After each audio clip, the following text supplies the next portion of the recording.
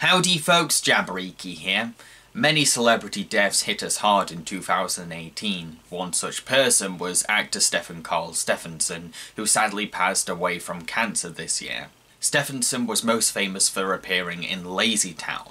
What is Lazy Town? Lazy Town was an Icelandic children's TV show created by champion gymnast Magnus Scheving. It was designed to encourage kids to embrace fitness and sports, becoming a huge success around the world. In the show, a bubbly girl named Stephanie visits a residence called Lazy Town, where all the kids, who are portrayed by puppets, can't be bothered to play outdoor games.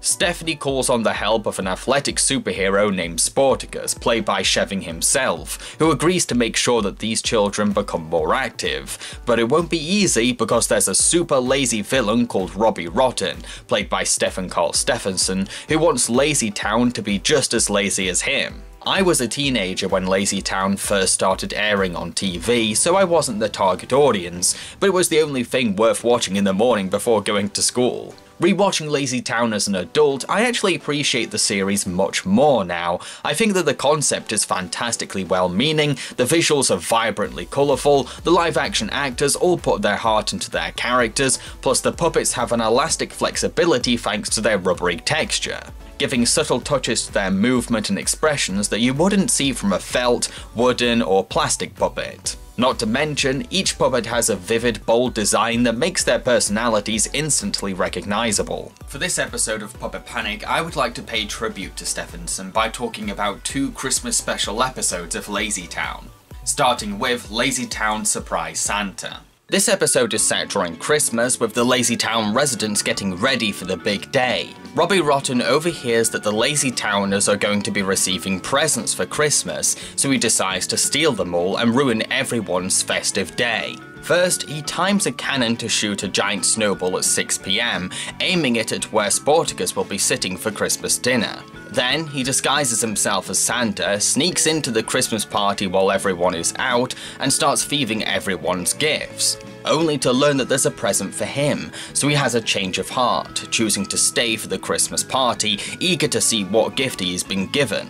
However, he forgets that his cannon is timed to shoot Sportacus at 6pm, so he alerts everyone, and luckily Sportacus saves the day. Finally, it's present opening time, but Robbie is disappointed to learn that all he got was a pair of socks. The episode doesn't really have a central theme. It has lessons peppered throughout the story, like being patient at Christmas and not stealing other people's gifts, but there's no overarching message. This doesn't make the episode bad or anything, it's just something that I noticed. Not every Lazy Town episode needs to teach something, sometimes it can just be a little bit of fun, and that's the case for this episode. The episode has a nice Christmassy atmosphere, reflecting the excitement and warmth of this time of the year. I'll admit that I felt a bit fuzzy watching everyone simply getting ready for the season. It's simple, but nice. It's also great to see that Sportacus never switches off his hero mode. He's always alert for people in danger. He never rests as a superhero, but he still has time to enjoy the holidays, from building a snowman with Stephanie to joining the Christmas dinner as a guest. As always though, it's Robbie's antics that steal the show. Watching him trying to pull off his Santa act is very funny, because we know that he has evil deeds to commit, but he's having to make time for the Lazy Town kids too, and he can't blow them off or his stunt will be exposed. It's Santa! Santa! Santa! It's really you! Oh, you me? Oh, ho, ho, ho. here, here we go. Have some candy. Yeah, and, and go home. Go home. Candy? Uh, I don't think I should. Should? Of course you should. Have candy here. Here, the whole box. Take it all. I also can't help but smile when he's invited to dinner. He's clearly very moved that he's a guest, but he's also highly distracted by his desire to open the presents. Even though he's a bad guy, he's a big kid at heart, wanting to be spoilt and loved like most children. Overall, it's a good episode. Nothing special compared to most episodes besides having a Christmas setting, but it's still a fun watch that'll make kids happy. If your children liked The Grinch, I think they'll get a lot out of this episode. Now let's move on to the next Christmas special episode, which is titled The Holiday Spirit. In this episode, the residents of Lazy Town are preparing for a Christmas party, and the kids are writing their letters to Santa. They all have their own dream lists, but Stingy greedily wants to have everything that's on all his friends' lists. When Robbie Rotten learns that people who have been good all year get presents from Santa Claus, he realises that he's been a very naughty boy, but he really wants some special gifts from Father Christmas, so he agrees to help out with the Christmas party, and even volunteers to prepare the turkey himself. However, Robbie is his usual lazy self, as he uses a machine to stuff the turkey and goes to sleep.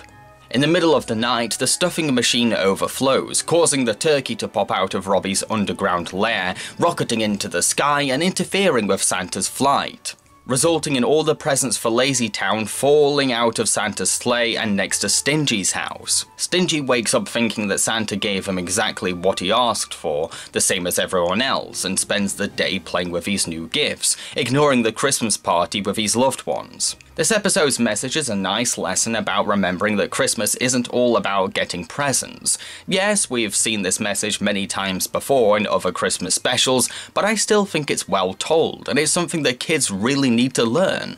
Stingy has all these amazing gifts, many of which aren't his, but he realises that they have little value when he has no company teaching kids that you can't spend Christmas Day cooped up in your room playing with your presents. That's not the holiday spirit. This is something that parents will appreciate their kids learning, because it encourages them to spend the holidays with their family, and lets them know that this special day isn't all about opening boxes. Kids love being treated, especially with something they've asked for many times, which is cute, but they can't think that that's all there is to Christmas, or they'll grow up thinking that materialism is more important than friends and family. That's where this special's lesson comes in. Eventually, Santa discovers that everyone's presents are with Stingy. Stingy tells St. Nick that he doesn't understand why he's not happy, even though he has all these gifts. So, Santa explains that he's missing the holiday spirit, and that giving is just as important as receiving. This leads to Stingy returning everyone's presents to them. He looks much happier in the process,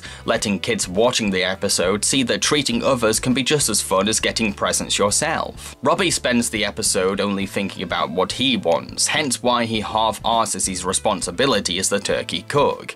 He is demonstrating another example of missing the holiday spirit. You can tell that a part of Robbie wants to enjoy the holiday spirit though. Just look at his adorable delight at being invited to the Christmas party party. What about you, Mr. Rotten? Are you coming to the party? Yeah. Huh? Me? of course. The party's for everyone in uh -huh. Lazy Town. Uh -huh. Yes, Robbie, you have to come. Yeah. yeah. I, I, I, I'd love to come. Oh, wonderful. yes. Deep down, he's a lonely man with wishes for the perfect Christmas get-together, but his selfish laziness gets in the way of his dream.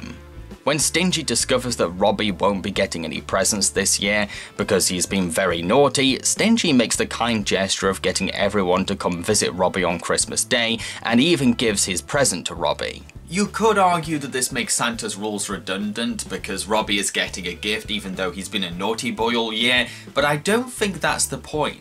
It's all about showing the spirit of the season, letting people feel loved and giving them company on a special day, no matter who they are, which is a lovely thought that teaches forgiveness and universal kindness. Plus, even though Robbie does receive a Christmas present, he still faces the consequences of his laziness when the turkey lands back on Earth directly on Robbie's head. The episode finds a compromise here, saying that everyone deserves a nice Christmas, but bad people can't escape their comeuppances, even in the festive season. Lazy Town's version of Santa is wonderful as well. He's jolly, friendly, and caring, with lots of Christmas spirit to spread around. But at the same time, the show gives him a human touch, showing him disappointed in himself after losing everyone's presents. When the sleigh crashed to the ground, I. I lost all the presents. I am a complete failure. Even Santa can be self-conscious of his failures. I love that. It's a Father Christmas that we can relate to, teaching kids to empathize with Santa's tough job and giving parents someone to identify with. I also loved seeing Santa getting jiggy with it during a Christmassy musical number. That may be the best part of the episode.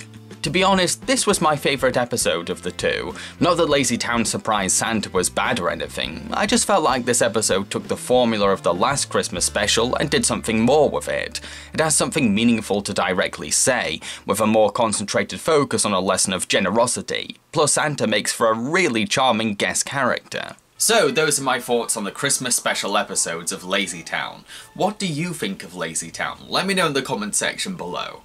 Before I go, I'd like to explain why I think that Stefán Karl Stefánsson is so amazing as Robbie Rotten. Stefán Karl Stefánsson embodied Robbie Rotten with so much passion, giving the antagonist a lot of rubbery expression and wacky energy, like he was bringing a cartoon bad guy to the live action screen. No matter what was called for, he would always add a little special detail to a scene. He was intentionally over the top, but knew that the character needed some level of restraint to make him believable, adding little pauses to his movement to show that Robbie had a thought process. He remained a serious and respectable actor even though he was playing a silly children's show villain. He may have been in the role of the bad guy, but he still inspired kids, demonstrating the traits of the kind of toxic person that children shouldn't grow up to be, while being entertainingly fun at the same time. Stefánsson may be gone, but he will live on in the hearts of those who grew up with Lazy Town and be forever immortalised in the memes that celebrated his character's charm.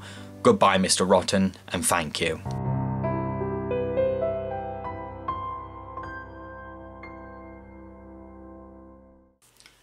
Cheerio, folks, and happy holidays. Boy,